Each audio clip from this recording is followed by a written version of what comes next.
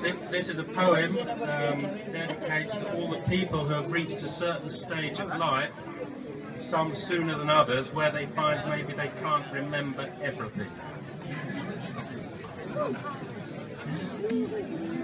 Yeah. Sorry. Do I know you? This is the name of the poem. I'm very sorry, but I haven't a clue who are you. That's the answer to Chloe. I haven't seen you for ages. How are you? Every day in town, I do the round, and people stop me on the street to greet me like a long lost friend and throw their arms around me. Boy, I must have been popular once. But that was when we had the house and the gallery. Every Sunday I made a pot of Indian curry to feed a regiment or a school and served it by the pool.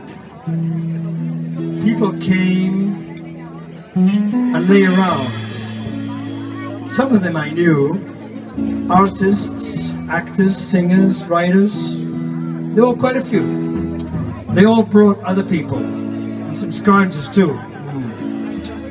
But I didn't mind, it was such fun. The laughter, talk and banter, and such an interesting crew.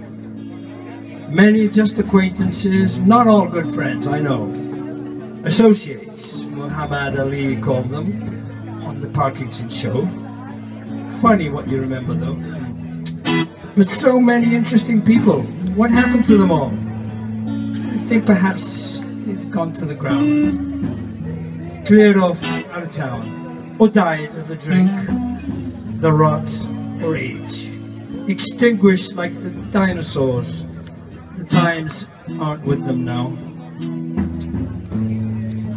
Maybe they are the ones, but I think probably not. The ones who stop me in the street. Actually, it happens quite a lot. I used to bluff through it quite decently, but now I find honesty is the best policy. And less tiring, certainly.